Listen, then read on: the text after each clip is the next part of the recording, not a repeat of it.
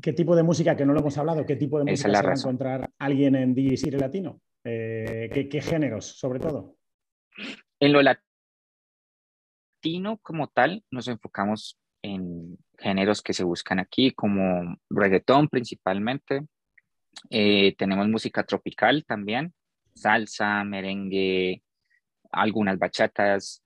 Eh, tenemos dancehall también. Em, transiciones entre estos géneros y géneros más modernos como electrónica. Eh, tenemos un género que se llama, aquí en Latinoamérica se utiliza mucho, que se llama circuit o guaracha, que anda muy de moda. El aleteo, Entonces, todo lo que se llama aleteo. el aleteo. sí. sí, sí, sí, sí, sí, sí. No sé si en España ya estará llegando por allá. No, no ha funcionado, no, ha llegado a, triunfar nunca, pero me acuerdo que siempre en el canal me lo dice la gente. Tienes que hablar sobre la guaracha, ¿no? que sobre todo yo creo que es en Colombia donde... Y hay un poco de controversia, ¿no? Como que la gente que le gusta la electrónica no le gusta la guaracha y... Y, también está, ¿cómo se llama este DJ tan conocido que también genera mucha controversia? Eh, em, eh, Fumarato, ¿puede ser?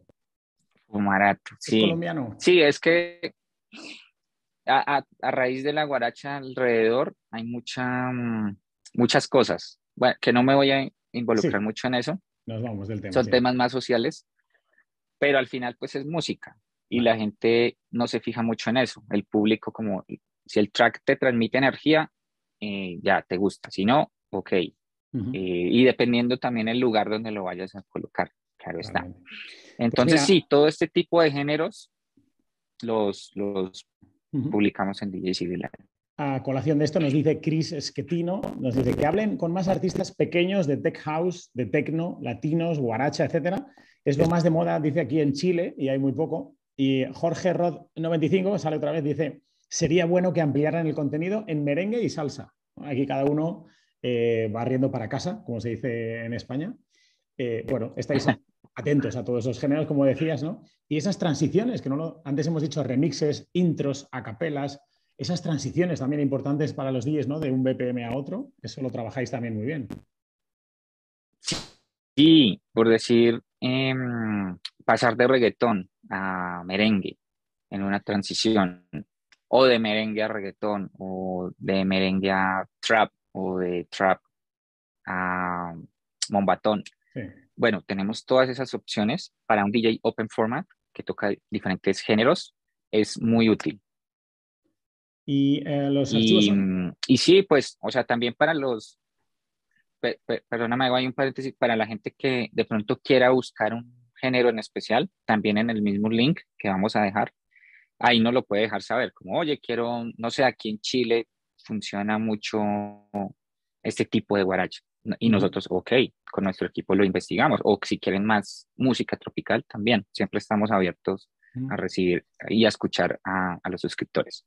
Son archivos siempre MP3, ¿no? Me parece que no, me suena haber descargado algún WAV o IVE. Pues bueno, MP3 siempre en alta calidad, a 320. Sí, MP3 a 320 siempre. Menos de 320 no que ya se vuelve como SoundCloud o otras plataformas que, o YouTube que lo ripean y suena horrible, en, un sonido grande. Siempre nos fijamos en que el estándar sea 320 kbps y MP3 em, porque es más fácil la gestión de datos y porque es muy estándar en softwares, en en el hard drive, en, bueno, es el estándar, entonces nos enfocamos en ese, MP3. Eh, otra pregunta por aquí. Ren 3 Martin nos dice, ¿qué diferencia hay entre DJ Siri y DJ Siri Latino? Dice que lo usa desde hace años, en la aplicación móvil solo le aparece DJ Siri. Dice que además podrían agregar música latina de España, ya que dice que la mayoría de las canciones eh, la tiene el público antes que los DJ y es difícil encontrar canciones top dice sin recurrir al pirateo, o sea, como que es difícil eh, comprar estas canciones, como dice flamenco o bachata de Zetangana de Nati Peluso. Eh, bueno, ¿cuál es la diferencia entre DJC y DJC latino? Que sería un poco una pregunta recurrente también. Y, ese, ok. Básicamente es como el tema del idioma y el tema cultural. El, el tema del idioma está dividido en la página web. Eh, se puede cambiar hasta japonés, alemán, inglés, bueno, en la plataforma. Y una vez pones español, ya la plataforma se acomoda a latino en esa parte. Y la otra parte, en el social media, hay un social media para cada mm, sección o cada área de DJ City como tal. Hay un área de DJ City global en Estados Unidos, DJ City UK, DJ City Japón, DJ City Alemania y DJ City Latino. Eh, nuestro Instagram es arroba Latino y ahí manejamos todo el tema cultural latino como tal. Posteamos noticias, videos, tutoriales contigo. Eh, bueno, como que nos enfocamos en esa área. Esa sería la única diferencia. Del resto, al tú adquirir una membresía en DJ City, tienes acceso a todo el mundo o a todos los pools que mencioné anteriormente. Eh, con el tema de mm, que mencionaste de la música, eh, sí, o sea, estamos abiertos a que nos, nos envíen eso porque a veces hay temas o tracks que solo funcionan en una ciudad. Y viéndolo globalmente, eh, DJs de otros países pues no lo van a bajar. Entonces nos van a ocupar una o dos descargas. Por eso pues hacemos esa selección, pero si recibimos bastante mm, como sugerencia de ese track, lo subimos. Eh, DJ City es un blog de noticias DJ, nos preguntan por aquí. Eh, tenemos sección que es de blog, pero también pues en ese blog publicamos los podcasts, publicamos noticias, pero no nos dedicamos solo a blog. O sea, somos como lo mencionaba en el inicio, un servicio de música DJ, pero alrededor de eso pues generamos cultura, noticias, actualizaciones. Ese es un agregado. Mira, había gente por aquí que decía, eh, madre mía, qué nombres más raros, OR0383, bueno, como está, sale en pantalla, pues ya está, que si lo hay en México, también Dirigir Latino, ¿cómo puedo suscribirme si soy de México? Decía también Luna Martínez, Francisco. ¿En qué países se puede acceder? O sea, esto no hay distinción, ¿verdad? Lo que decías tú, una vez que eliges el idioma, da igual desde dónde accedas. Sí, no hay, no hay problema. Puedes ser un DJ latino en Japón, que nos ha pasado, o en China, o en donde quieras. Pones la plataforma en español y ya puedes navegar con ella. En México, bueno, en cualquier país, nosotros tenemos la opción de pago en tarjeta de crédito y en PayPal. Entonces, no importa mm, el país, desde que tengas acceso a estas dos formas de pago, puedes adquirir la membresía. Oye, esto es que me está viniendo a la mente ahora, no sé por qué. ¿Cómo está el tema en Colombia con los eventos? Porque aquí en España es una auténtica locura con la llegada del verano. Eh, parece que la pandemia quedó atrás. Eh, eh, por ahí, por Latinoamérica o en Colombia, que tú lo conocerás mejor, ¿está sucediendo esto también? Sí, sí, preciso. Mm, hace unos días estuve en México, en Ciudad de México, gritando aquí en Colombia, y está bueno, o sea, ya se activó todo ya los DJs están tocando, ya los artistas están haciendo sold outs. Eh, me sorprendió mucho el fin de semana pasado. En la, en la misma ciudad estaba Maluma, Carol G y Sebastián Yatra, artistas colombianos. Y cada uno tenía su sold out y tocaban en fechas seguidas. Entonces yo dije, ok, ya eso es muestra de que ya la gente quiere salir de fiesta, de que hay ingresos, de que hay toda esta producción. Y en cuanto a los DJs también, veo que ya varios están girando, ya están tocando, los eventos ya están abriendo. Pienso que ya pasó esa pesadilla. Sí, sí, ya queremos recuperar el, tiempo perdido, ¿verdad? Eh, pues mira, te voy a lanzar, yo creo que la, bueno, la penúltima pregunta, eh, ni siquiera es pregunta, es una sugerencia bastante interesante, te iba a hacer llegar eh, por privado, pero te la voy a tirar aquí a ver qué te parece. Y si cosas así son bueno, interesantes para vosotros. Dice, hola, soy Sergei, soy ingeniero de software de audio. He desarrollado un sistema que ayuda a mezclar armónicamente, parecido a Mixedinky, pero con una tecnología mucho más nueva que mostró excelentes resultados. Me gustaría presentarle este, este, invento a esta gente, a ver qué opinan. Gracias por cualquier mano que me puedas dar, quedo a disposición para ampliar, ampliar info por privado. Te, lo lanzo un poco por aquí porque yo sé que DJ Latino, por ejemplo, va abriendo sus patas, por ejemplo, en esa colaboración con, con Bitport, ¿no? Con ese, aquello que creasteis, BitSource Link. Quizá algo así os puede interesar. Bueno, yo te lo voy a lanzar igual, pero eh, que estáis un poco abriendo el abanico, además, ¿no? A, más cosas.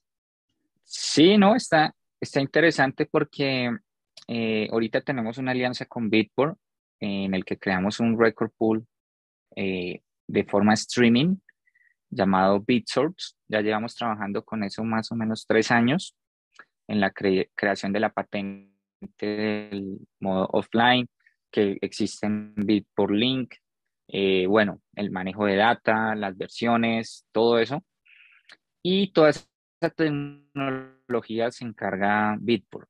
Eh, pero pues es interesante encontrar gente así que quiera de pronto aportar una idea y lo, podamos, lo podamos agregar. Entonces, sí, de pronto ahí, eh, ahorita por medio tuyo lo contactamos o, que nos envíe la propuesta, bien, y yo lo contacto con esa área y ver qué pues me parece súper, súper porque Bitport y la página web Bitport, eh, BitSource tiene un acceso eh, a una aplicación DJ, en donde tú tienes un software DJ eh, vía web y puedes utilizarlo. Entonces, algo así me parece chévere, interesante. Bueno, ya eh, yo quiero un 2% de esto. ¿Cómo se llamaba este chico? Gabriel, un 2% si al final nos hacéis ricos, quiero mi, mi Oye, ¿qué cosas puedes contarnos de... Tu comisión. Claro, claro. ¿Qué, puedes contarnos de BitSource? Yo siempre que hablo aquí en el, en el lab de España de Disney Latino, hablo de BitSource y BitSource Link, siempre digo que es el futuro, evidentemente, o sea, es que no se me ocurre que alguien no sea capaz de verlo. ¿En qué estáis trabajando? Cuéntanos, venga, metenos aquí un, avance, seguro que hay algo nuevo, novedoso. ¿Se puede contar algo? Eh, bueno, pues así, pues estás mejorando todo lo que ya hay, pero básicamente lo que hay es el acceso a tocar vía streaming. Cada vez está mejorando más la tecnología de que no haya problema con el Wi-Fi, de que puedas utilizarlo como una especie de Netflix para DJs y puedas descargar tus mil tracks antes de tocar en un área donde no haya Wi-Fi. Offline. Eh, donde puedas actualizar esa librería, sí, offline, donde puedas actualizar la librería súper rápido. Eh, el formato de esos archivos es un formato especial, entonces es de buena calidad y se descarga muy rápido. Eh, todo esto lo está manejando la, la gente de Bitport, de este tipo de tecnología, pero ya también las disqueras no están enviando muchos archivos en MP3 ni, en WAV. Entonces esa es la razón por la que ya todo se está mutando al streaming DJ. Ya va a ser en unos años, yo pienso, va a ser difícil encontrar las primicias en MP3 o no serían oficiales. Eh, serían ripiadas y todo eso, pero ya también los DJs ya se están actualizando, ya muchos softwares, la nueva generación de equipos de Pioneer, de Denon, ya vienen con la opción de utilizar tu hardware vía streaming. Entonces todo viene hacia allá porque sí hemos tenido problemas en el pasado de, de conexiones, de, de prueba-error, pero básicamente ahorita está mucho mejor y los invito a que la prueben también. es entendible que el salto es eh, cuantitativo, ¿no? O sea, yo me acuerdo hacer un vídeo con alguien en el canal hace ocho años y decir, pues yo creo que en el futuro directamente ni siquiera llevaremos un USB, nos loguearemos en el, en el CDJ y tendremos toda nuestra música ahí. Y esto ya existe, ¿no? Con las nubes, con, los sistemas de streaming. Eh, esto es el, el, futuro ya, el futuro hoy, yo creo, ¿no? Venga, pues te tiro la última, que al final quería yo hacer un vídeo cortito y, te gusta hablar tanto como a mí y al final nos hemos puesto aquí un vídeo de media hora. Igual hay que partirlo en dos, ¿eh? igual lo podemos hacer.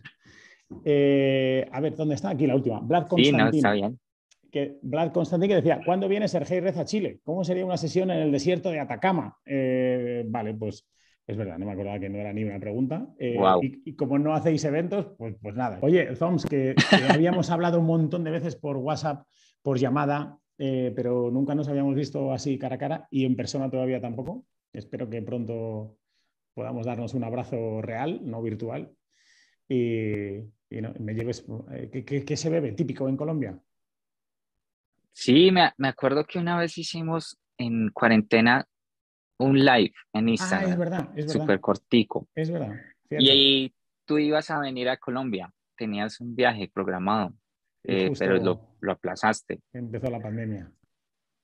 Sí, pero bueno, ahorita ya todo está mejor, súper invitado aquí a Colombia, tú sabes, aquí pues este es un paraíso. para vivir, natural. ¿Con qué, ¿Con qué me darías para brindar, típico colombiano? Eh, un aguardiente, un aguardiente. Esa es el típica, la típica bebida. Un aguardientico. Con eso ya te pones en temperatura tropical. Pues, pues así será. Espero que pronto. Eh, no sé si nos dejamos algo por contar. ¿Quieres añadir algo más? Eh, no, que, que, pues siempre estamos abiertos a recibir eh, y a escuchar a los suscriptores, a los que no son suscriptores, siempre abiertos a apoyar la comunidad DJ, como lo pueden ver en nuestro social media. Eh, también mucho el respeto hacia la mujer DJ, que es algo eh, que hacemos como varias campañas, como para que tenga su espacio también. Eh, Súper abiertos también a opciones, tecnología, ideas, música. En nuestro social media siempre hay eh, también a música, los que nos quieran enviar música, son productores o mixers, también recibimos. Y bueno, esa es la idea de crecer todos en comunidad, siempre abiertos a eso. Pues nada, yo creo que hemos resuelto todas las dudas que nos dejaron, tanto por YouTube, por Instagram, que lo anunciamos, etcétera. Y no descarto volverte a traer otro día por aquí para seguir hablando de novedades y, más cositas o incluso de otras cosas, que tienes una mente privilegiada. Yo sé que hay muchas cosas ahí, un, tipo que te dedicas a muchas cosas, todas ellas de música y muy interesante tu carrera. Así que no descarto que vuelvas por aquí. Te agradezco un montón que hayas venido y, nada, que vaya todo muy bien. No, súper agradecido, Sergey, y grato de volver a estar por aquí también a tu invitación y muchas gracias a toda la gente que te sigue y nos sigue y bueno, están abiertos a estas nuevas cosas. Muchas gracias, Sergio. Despide tú con un propicios días, ¿puede ser? ¿Puede ser? propicios días, propicios días. Gracias, Tom. Un abrazo. Un abrazo. Chao.